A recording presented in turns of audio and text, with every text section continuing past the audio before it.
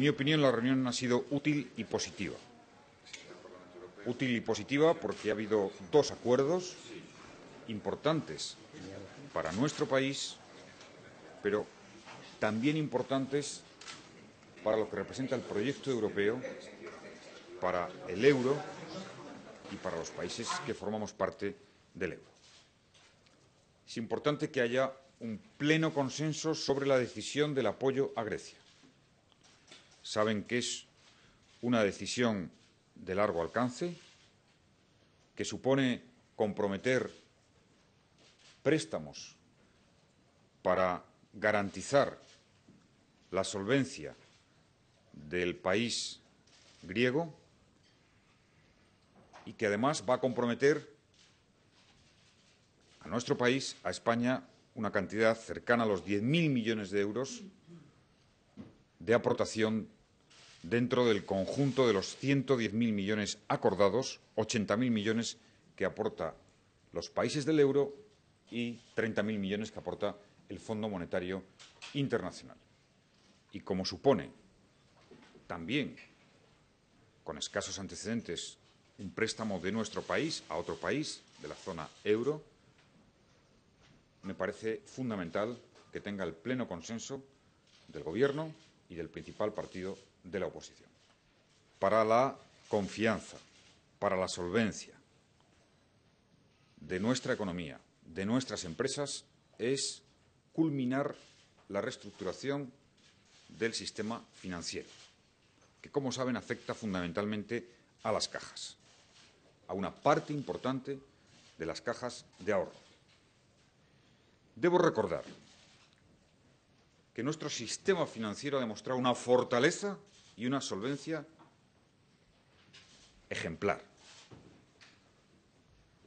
Después de dos años de crisis financiera, de aguda crisis financiera, es de los pocos países donde el sector público no ha tenido que inyectar capital al sector financiero, a las entidades financieras. Y que bancos y cajas, especialmente bancos, han demostrado y demuestran una gran fortaleza. Pongámoslo en valor,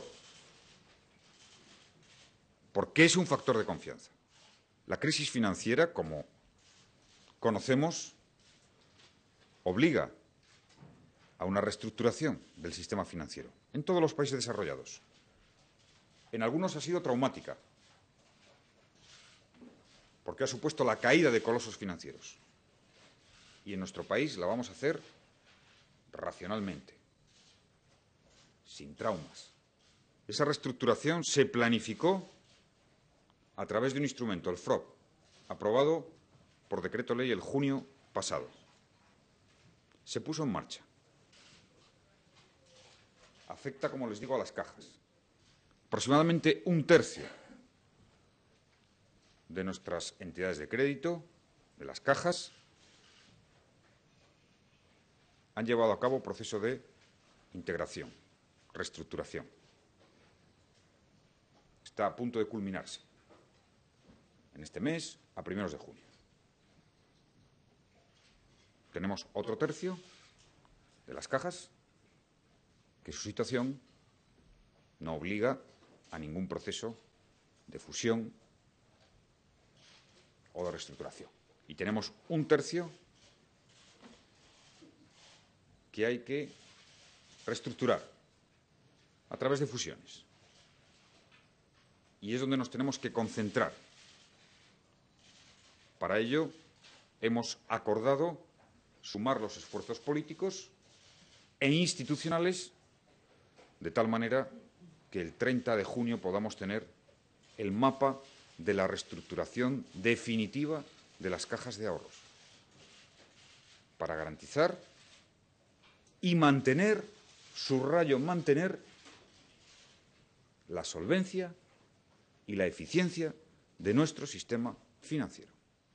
Y junto a ello hemos acordado reformar la ley de cajas en tres meses. El Gobierno va a elaborar un texto de reforma de la ley de cajas, lo va a remitir al Partido Popular para llegar a un acuerdo y que en el plazo previsto de tres meses tengamos esa reforma de la ley de cajas. Por tanto, es un buen acuerdo. Me felicito que se produzca, porque además hay también sintonía en los aspectos fundamentales que van a incorporarse a la reforma de la ley de cajas. Hay motivos para la confianza. No son las opiniones ni los juicios de valor, son los datos, los hechos.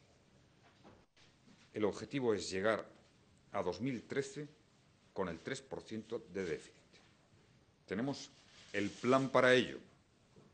Y, desde luego, si la economía vuelve a crecer, sin duda será más fácil su pleno cumplimiento y el adelantamiento de los plazos. Tanto reducción del déficit, sí. Drástica, no, porque compromete el crecimiento en una etapa en la que la inversión privada está muy retraída, ahora empieza a tener nuevos síntomas de despegue. Tenemos los primeros datos positivos de salida de la crisis, de recuperación económica. Ser una palanca de confianza. Estos son datos, no rumores. No hipótesis.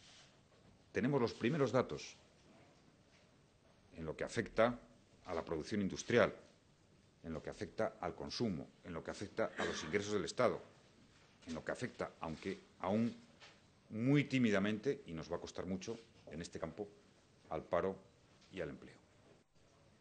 Y si recuperamos el crecimiento económico, dentro de pocos días conoceremos el dato del primer trimestre, habremos empezado a tener las condiciones para ver más cerca, mucho más cerca la salida de la crisis. Hay motivos para la confianza. No son las opiniones ni los juicios de valor, son los datos, los hechos.